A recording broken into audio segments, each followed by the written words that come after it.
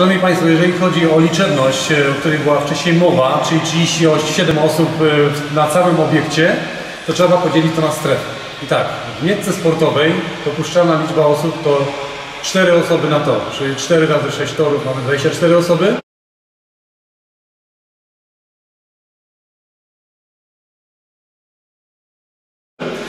W mietce rekreacyjnej, ze względu na dystans społeczny, liczyliśmy, że mogą być 4 osoby. Miecka rekreacyjna, ta z zjeżdżalnią to maksimum 6-7 osób. Jacuzzi jedna osoba i w saunie, ale zaznaczam, może być to tylko sauna fińska, ta e, o wysokiej temperaturze, maksimum dwie osoby.